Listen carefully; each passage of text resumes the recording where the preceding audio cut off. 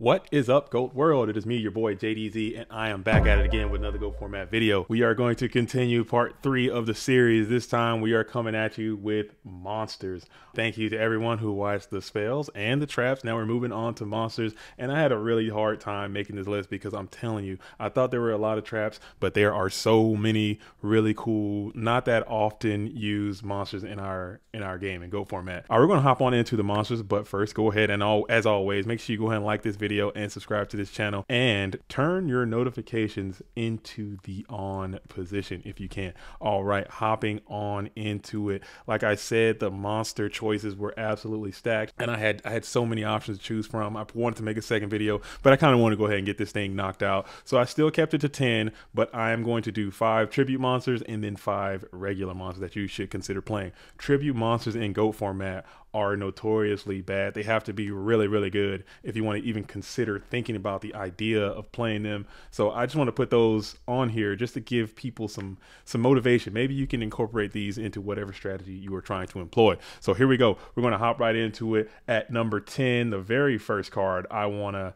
throw on here. It should be no no surprise to anyone if you know me in any way or if you follow me in any way, you know that I've been preaching this card for a long time. A lot of people think it sucks, but I have to disagree. I have been preaching the sacred Phoenix. Okay, this is one of my favorite cards. I love this card. This is one of the cards I actually had to seek out in maximum rarity because I really like this card a lot. I don't have a huge Yu-Gi-Oh collection by any means, but I had to seek out this card because I enjoy it that much. I think this card is very good. I think it is criminally underplayed. It is limited to one for a reason because it is so powerful. If you don't know what this card does, it says once per turn during your next standby phase, after this card was destroyed by a card effect, any card effect, not to include yours and your opponents, and sent to the graveyard, special summon this card from your graveyard. If you do, destroy all spell and trap cards on the field. So it's like a huge heavy storm that keeps going over and over again each time it's sent to the graveyard. It has a nice body. You could cheat it out with the Hand of Nephthys, the little side card that, that goes along with it. I think this card is really cool. It looks cool and it has a great effect.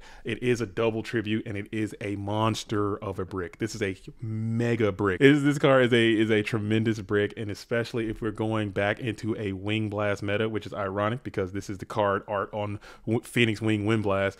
But uh, if we go back to a Wing Blast meta, this card becomes almost unplayable. But still, I think there is some merit to this card if you are brave enough to make it work. The Sacred Phoenix should be a card that is played at a higher clip. I love it, but that's why I had to put it on here. Moving on to the next card. This is also a tribute card and a card that I think might be slightly underplayed as well. This card you might want to consider playing is going to be the Dark Dust Spirit. Okay, again, before you shut this video off, you see the big Phoenix, you see the Dark Dust Spirit, and you're just like, oh man, I don't, I don't, I don't, I'm not jiving with this video. I'm not digging what JDZ is talking about. Let me get out of here and save myself some time. Let me try to sell you on the Dark Dust Spirit. Okay, what this card does, if you don't know the Dark Dust Spirit, when it is normal summoned or flip face up, destroy all face up monsters on the field. Okay, again, any card that can give you the ability to plus, you should at least, at a minimum, consider it. At a minimum. I mean, you can consider it and then immediately just throw the whole idea right out the window, but at least consider it because card economy and card value and all that kind of stuff is what this game is all about. Like if you have played GOAT format for more than a day, you know card advantage, you know the theory behind it, how important it is to our game. So any card that can potentially get value out of a plussing situation, you should at least consider it. And Dark Dust Spirit can do that under the right conditions. It also has a pretty nice 2200 attack and it's reusable. You know what I'm saying? Being a spirit monster, it will return to your hand at the end of the turn. So that is something that might want to be considered. I think the card also looks cool as well. I wish it had a higher rarity, just a common version. It kind of stinks. Maybe another one came out. I'm not sure. Let me know. Okay, moving on. The next card we are going to discuss another tribute. So this is going to be third tribute. We have the dark ruler the dark ruler Ha Des so the dark the dark ruler Ha Des okay i remember vividly back when i was playing this game the first time this card was a menace this card was everywhere it was almost played as much as Jinzo. And it was just, it, it, was so powerful. It was so dominant. A lot of people had the Dark Ruler in their decks and they were bringing this thing down and it was just absolutely smoking flip effects, smoking singing, smoking serpents. Uh, it would, it would empower the rest of the fiends, you know, with his, with his secondary effect. This card is really good. I don't know why no one uses it. I've, when you do come across this card on the ladder sometimes it causes a lot of problems i mean granted it has no protection you can easily just fissure it tribe it mirror force torrential all that kind of crap but I think when it's out there and it's protected and it's doing its thing and it's crushing all your stuff, you're just feeling bad. And it's powerful. That 2450 goes a long way, killing monarchs, clearing Jinzo clearing, you know, big defensive guys. Spy just eats that up. It eats up all the stuff. And when it hits the serpent, remember, if it hits the serpent with that effect, it's gone forever. It doesn't come back. You know, it's not like, you know, when it goes to the graveyard resets. No, when that thing hits the serpent, it's gone.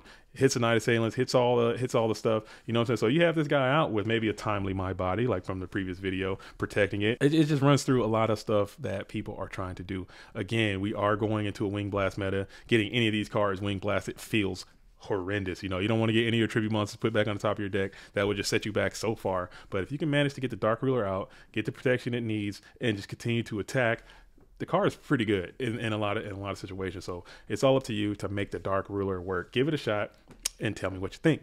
Okay, moving on. We have the next tribute in the the next tribute in the list. We have the blowback, the blowback attack, blowback dragon. People are starting to use this card. People are picking up on the blowback, and I love to see it because this card is problems if in the in the right in the right conditions, of course. You know, as all these cards are, it's got to be a conditions based thing. I see a lot of people using the reasoning gate strategy are starting to incorporate blowback dragon as a level six in there. I see a lot of people using the soul control strategy or the monarch style strategy and just kind of incorporating the blowback dragon as a as a tertiary or secondary type monarch because his effect is pretty good. You got 50 50 to destroy any card on the field.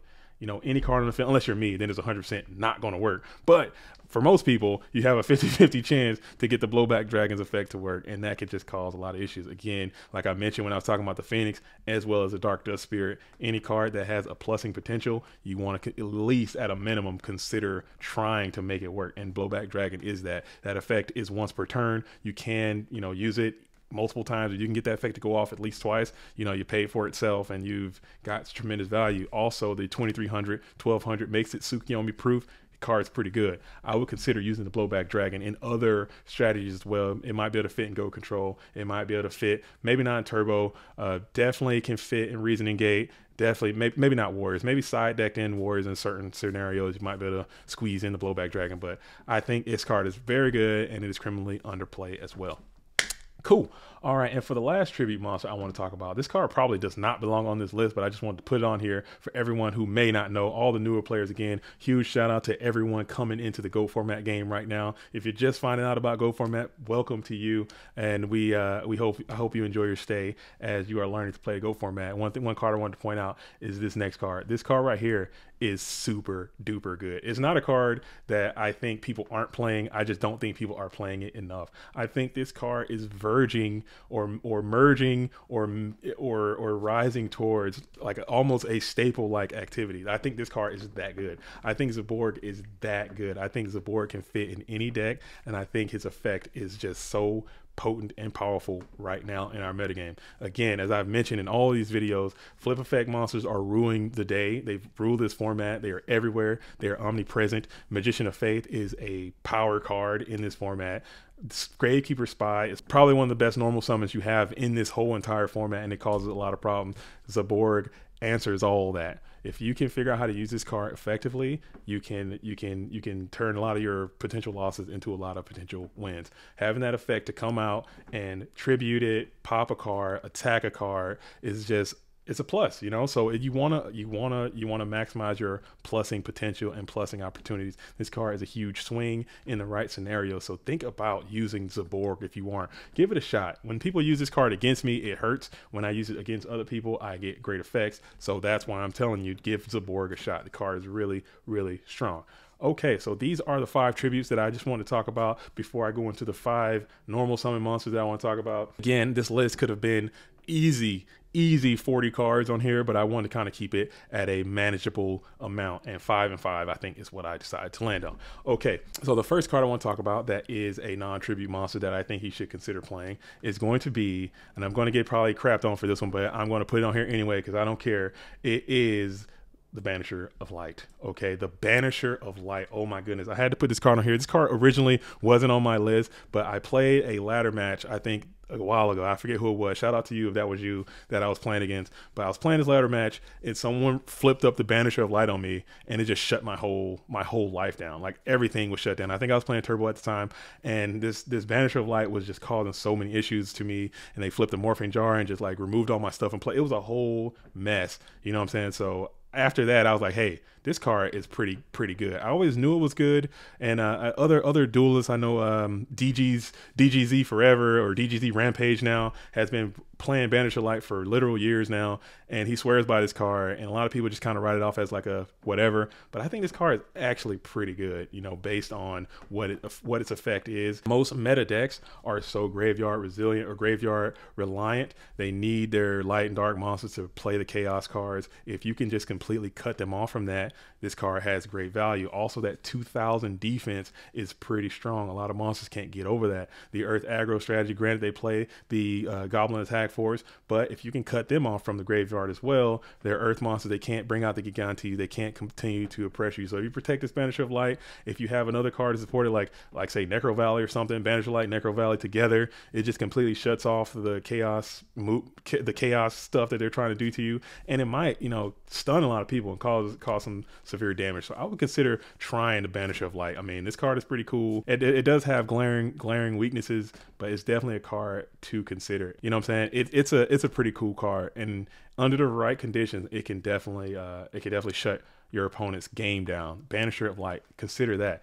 Okay, the next card I want to talk about is going to be the legendary Jujitsu Master. Okay, the legendary Jujitsu Master. I've seen uh, AJT, our Player of the Year, AJT BLS FLC champion was teching in the legendary Jujitsu Master, and I think that goo is starting to leak into the rest of the dueling book situation because I've seen this card come up as well when I play my games or when I'm watching a game. I'll just see people teching in the legendary Jujitsu Master, and it causes fits. It causes fits, especially if you're playing like an aggro-based deck. If you're playing like a recruiter-based strategy and you're attacking in with a bunch of 14 guys, or you're attacking in with people that can't clear that 18, well, guess what? You're just sending cards back to the top of your deck. You pair this guy with compulsory, they're swinging in with Blade Knights at 2000. You bounce the other guy back to their hand. Blade Knight now crash into this thing at 16, and now Blade Knight's on the top of the deck. So they got one guy back in the hand, one guy top of the deck, and that's just a huge swing of just timing and tempo and crap that now your opponent has to deal with. This is a problematic card because, again, as I mentioned in the trap video and other videos,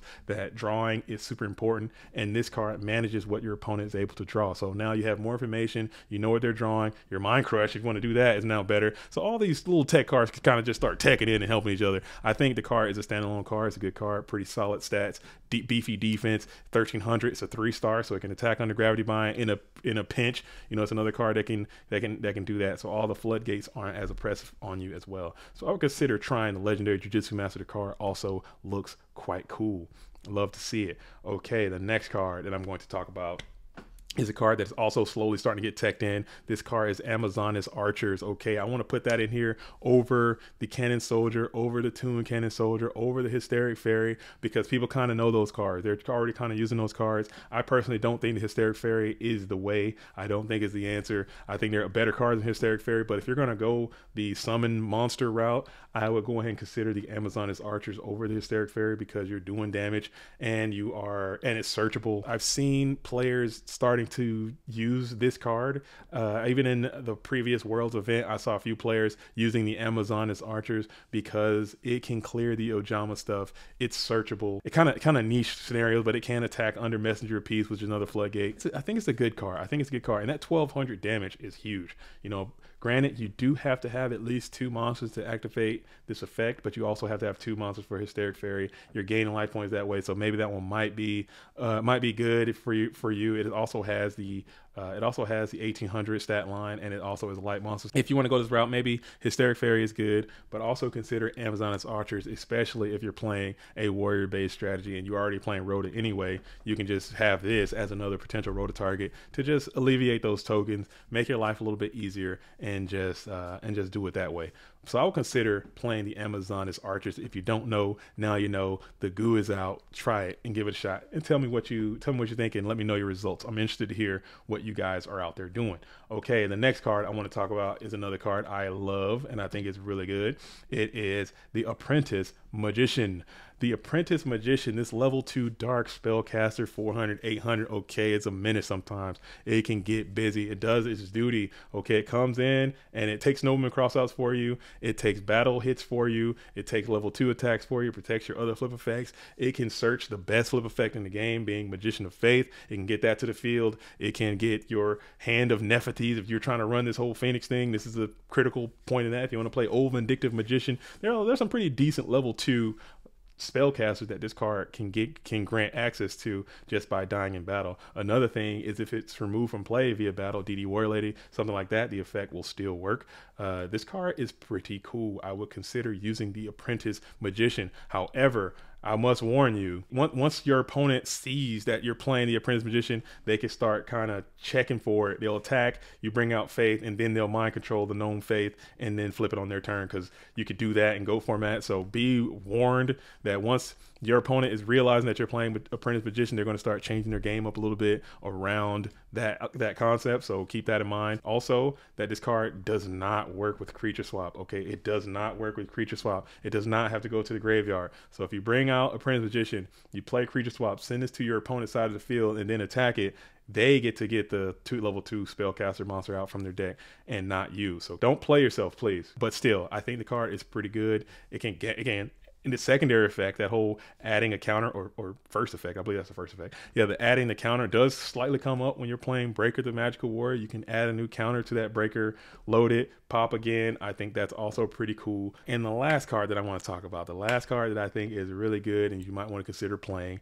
is going to be none other than Newdoria. Doom, doom, doom. I've been using this card a lot lately too. I've seen a lot of people picking up the Newdoria. Newdoria is cool, man. I think this card is really cool cool. I think the Newdoria, his effect is nice because you can bring this guy out in certain situations. Everyone's playing Gravekeeper Spy. Like I said, the card is heavily, heavily played in our current metagame. They bring out two. They try to they try to attack him with both. I mean, that sucks, and it does happen. But guess what? You bring out the Newdoria, you can crash one and get the other one off too. That I mean, again, again, that's still just a at the end of the day, that's still a one for one, but it just feels good clearing two of those spies at one time when that does happen.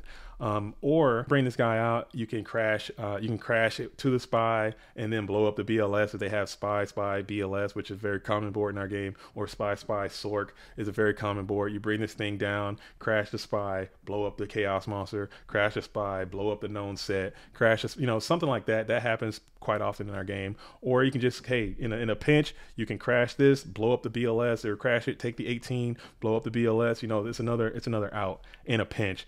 Uh, you can set this thing and just kind of throw off your opponent's battle phase. If they have a Kycoo and they're trying to get into your graveyard and they try to, you know, attack in with a, a, a spy again, you can now blow up a Kycoo and kind of throw your opponent's battle rhythm off a little bit. I think this card is really good. It's criminally underrated. It also works really well with creature swap because if your opponent, again, has multiple monsters on the field and you're just kind of falling behind, you have this thing, you creature swap it over to your opponent's side of the field and then you attack it you now cleared that card and now you get to activate the effect because this effect triggers in the graveyard. So that's pretty cool too. So you blow up two of their guys uh, if you can if you can manage to pull it off. So I love Newdoria. I think this card is criminally underrated. I wish it was three star. I think if Newdoria was three star, it might be even better. But Newdoria being four stars, it's cool. I think it's fine. But still, I would consider playing the four star 1200 attack fiend, and uh, I think it's really good. But here's my list. I think again, this list it could have been way longer. There are so many monster cards in our game that I really want to put on here, but I just wanted to keep it five tributes, five normal summons. Tell me what you guys think about it. Now that I have all of my goo or all the cards I consider goo or cards I consider playing. Maybe we can make like some type of ultimate goo deck and throw it on the ladder and try it out. Tell me if you guys are interested in trying something like that. I will be more than happy to do it. Make sure you like this video, go back and like all the other videos, and uh, comment on this video if you want to see a goo down, an ultimate goo battle. I can try to make the gooiest goo deck using a large percentage of these cards and uh, and see if we can make a make a win. Probably won't, but we can make it happen. We can give it a shot if that's something you guys are interested in. Also, thank you so much for everyone for watching these videos as always and being part of GOAT format. It means a lot. But that's all I have for this video. Until the next time, shout out to the real ones. Salute to the OGs. I'm JDZ. I play goats. You should too. Peace.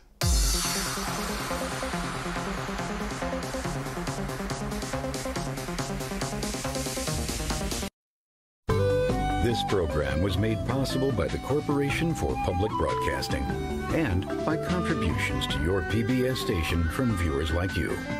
Thank you.